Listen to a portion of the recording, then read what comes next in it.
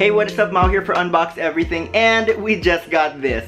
This is what we're gonna be unboxing today, the Xiaomi Mi Electric Scooter Pro 2. Now, if you know me, I regularly travel on my Xiaomi scooter M365. That's the first electric scooter that Xiaomi put out. It was the non-pro version, but now I just got myself the pro version, Pro 2. And this was on an incredible sale that Xiaomi's stores just had 50% off so what usually would cost 27,000 was going for 13.5k, which is a really great steal. So I picked one up for myself and the reason why I picked it up, it's a good enough upgrade over the Xiaomi M365 which I currently have. The big upgrades is the more powerful motor, so when you're going up steep hills or bridges, which I do now more than more often, um, it's going to be able to pull you up faster and not slow down so much while you're going on the incline. Also, it can go farther on a full battery, so it can now take you 45 kilometers on a full charge compared to my first one, the M365, which only can take you 30 kilometers on a full charge. And now that I've been traveling farther, um, I want to be able to do that knowing that my battery's not going to die while I'm out traveling. So that's basically the reason why I decided to upgrade and the steal price really made me do it. I mean, so that's why I wanted to finally upgrade and that steal price is really the factor that made me finally buy it for myself. So we're going to be unboxing it today, setting it up, and you're going to have a closer look now at the Xiaomi Electric Scooter Pro 2. Let's take a close look at the box first. So this is the box, really big, really heavy. Just got the picture of the scooter up on front, and then we've got the words, I mean the name, Mi Electric Scooter Pro 2. And the main features, the smart app connection, multifunctional control panel, 4 kilometer long range battery like I mentioned, the 300 watt motor with a maximum output of 600 watts, electrical brake and disc brake, and the shock absorbing inflatable tires, and aviation aluminum alloy frame. But that's basically it for the box, so let's open it up and let's get into the unboxing.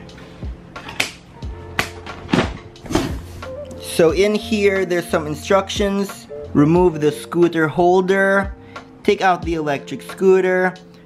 Fasten the handlebar stem on the headset and put down the kickstand. Attach the handlebar to the stem. Tighten the four screws onto both sides of the stem with the hexagon wrench. So that's how to set it up. Woo! There it is. And here we got the manual and we've got the hexagon wrench and the screws that are going to be used. Got more paperwork and documents. We got the charging brick and the charging cable. Then we've got this uh, spare tire. So that's really great to see, you know, the included spare tire in case you get a flat, always really good. Now, let's get the actual scooter out.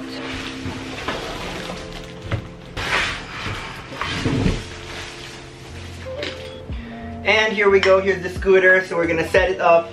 Let's remove first all of the plastic. I've had my first scooter for around three years already, so it's really beat up, really dirty, and just seeing something clean and brand new like this is really, really nice. So the first thing we'll do, we'll get the hexagon wrench and we're gonna put the handlebar into the stem. Alright, so that locked in place and now we're gonna use the screws that are included here to screw it in. So we got the screws here. Actually, there are five screws, one extra. That's really good. And then we're just gonna tighten it as it says here. Put it in those holes. And we're just gonna screw these in place using the hexagon screw um, tool. Now we gotta do it also at the back here. So let's just lock this in place so that the stem stays up and we do that just by putting, locking this up here, like that, and then slide this in place so it holds it locked up. So that's how the locking mechanism works on this. Again, this part here just, that locks the lock, so you slide that up to lock it, and then this just secures it tightly in place. And that feels really, really sturdy, and it does feel way more sturdy than the original Xiaomi M365. And let's remove the stickers all around. And this is a warning to not step on the, the rear fender. It is not a rear brake. So now that we finally unboxed it completely, let's take a closer look at the Xiaomi Electric Scooter Pro 2. So it's got really nice inflatable air tires, which is really gonna help with making your ride feel a lot smoother, even without suspension. It's got reflectors on the side to help you be seen at night. And again, just looking at the materials it's made of, super solid, really premium. And then we've got the wiring here, which is now black, and the black um, rubber coverings, compared to before where they were red, so they stuck out and were seen more, but now they're kind of more hidden and more discreet. Then on the front here, we've got another, is this a light or a reflector? I think it's a reflector. And again, on the other side here, we've got more of the wiring and it's in black. So I really like that it's in black because it doesn't stand out a lot. It really looks hidden. Then of course, going up the stem, we've got the lock mechanism, which I showed you earlier. And I think that this one feels really sturdy big improvement from the M365. Then we just got minimal branding here on the stem. This wasn't there on the first one, but now it has it. Again, really great material. Got one more wire which goes to the handbrake. Here is that handbrake which, so that's a handbrake. Uh, and I love the way the handbrake works on the Xiaomi scooters. Feels really good. And then over here we've got a simple bell right up front here. Wow, that actually sounds really loud and it's really good compared to the um, original M365 again. So really good upgrade from that. And then the rubber handles feel pretty much the same as the previous scooter. And then over here we got the throttle button. This one's got it uh, in red. That signifies that it's the Pro version. And yeah, there is one more sticker here. I forgot to remove that. And then of course we got the panel board. Turn that on in just a bit. Now back here we've got the deck which is in a rubber black. So that is also different. I like the rubber black. Looks really sleek. Everything about this with the minimal Mi branding on the bottom. I mean right there in the center. And then coming down here we've got the kickstand which is going to help your scooter stand. Uh, that's what a kickstand is for. And then over here we've got the disc brake. So for all of you engineers and you know um, bike and scooter enthusiasts, you can see this is what the braking system looks like, but it's this disc brake. And you know, just that physical disc brake really helps uh, slowing down and braking feel really good.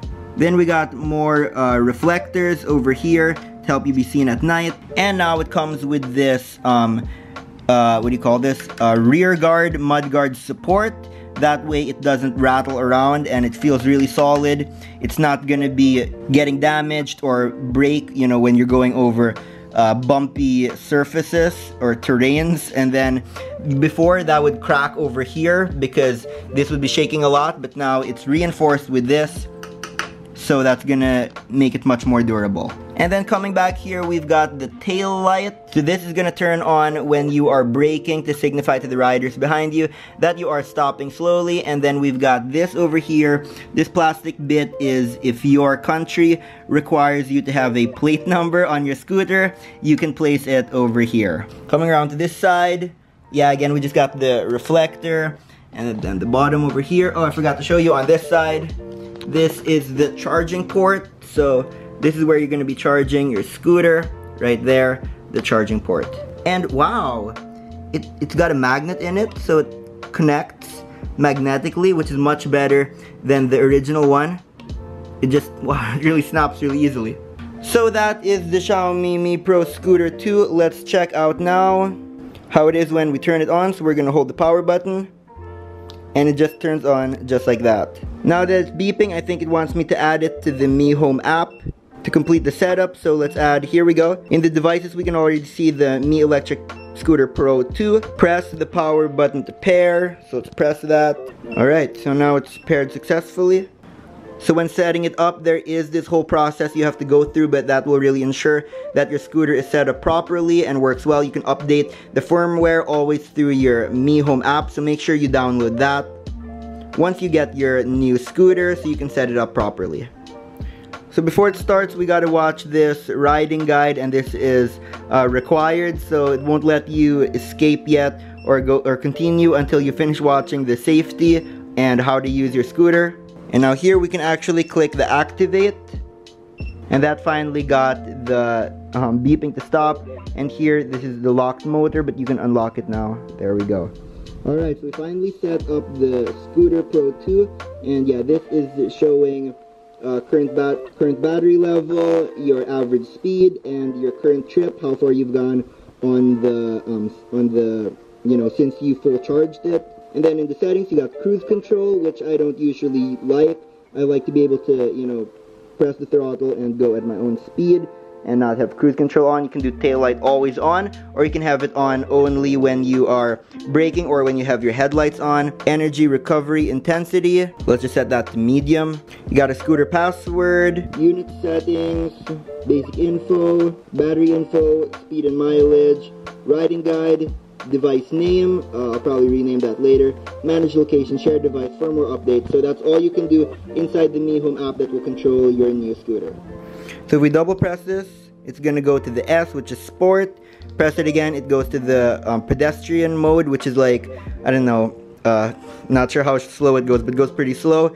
And then pre double press it again, goes to the D, which is like, I'm not sure what it stands for, but it's like the eco mode. So it's gonna go, I think, up 20 miles, uh, 20 kilometers per hour or you can go the speed which I will always be on. Then you got your battery indicator over here so it's got 3 bars out of 5 so that's around I don't know uh, 60% or something but you can see that and then if you press once it turns on the headlights press again to turn it off and that's about it.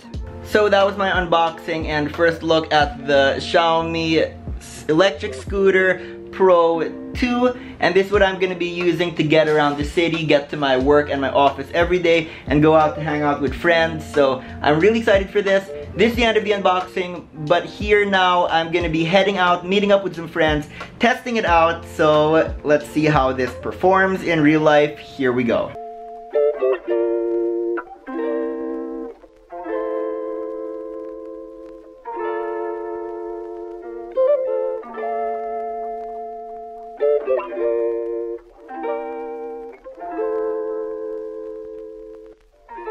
And that was my day out on the scooter so I really liked it. Felt really smooth as I was driving and the motor felt really powerful. I could really tell the difference between the first generation M365 and now the Pro the scooter Pro 2 so I'm really happy with this and if you're looking to upgrade your scooter um, from the original or you know just a you know generation 1 scooter you might want to look into getting the Pro 2 but if you do have already a Xiaomi scooter Pro 1 I don't know if the upgrade would be that much but definitely for me, the Pro 2 is a big upgrade. Or you could wait for the Xiaomi Electric Scooter 3, but if you look at the specs, the Pro 2 is still better. But it's up to you which one you want to get. Aesthetically, the Mi 3 looks really cool, but the Mi Pro 2 scooter is still more powerful so that's why I picked this one up for myself but I hope that you enjoyed this little video showing you the unboxing of the Xiaomi electric scooter Pro 2 and I hope it helped you decide if you want to pick this up for yourself. I think if you live just in a small area and need to get around, then an electric scooter is something I would highly, highly recommend. And real quick, here are some upgrades that I made also on it. So I have my console over here.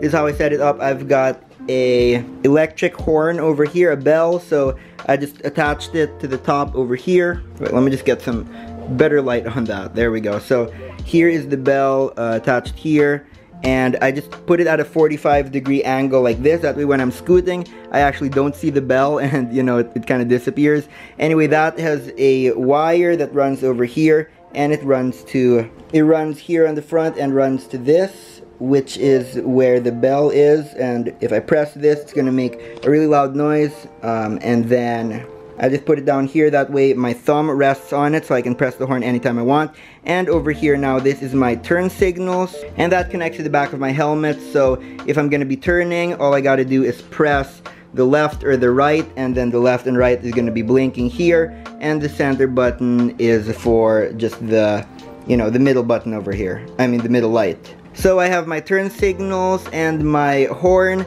set up and that's how I have my setup for my scooter because the right hand is here for the throttle as I go and my left hand over here. I usually keep my hand on the horn. Um, that's good but that's not really going to be heard by cars. So I have the horn over here And then, of course, we've got the turn signals over here. So this thumb is doing a lot, and that's how I do my setup. And if you want to get this for yourself, I will leave links in the description so you can buy one for yourself. That's all for today. Thank you for watching. I really hope you enjoyed, and as always, I will see you back here next time as I continue to unbox everything.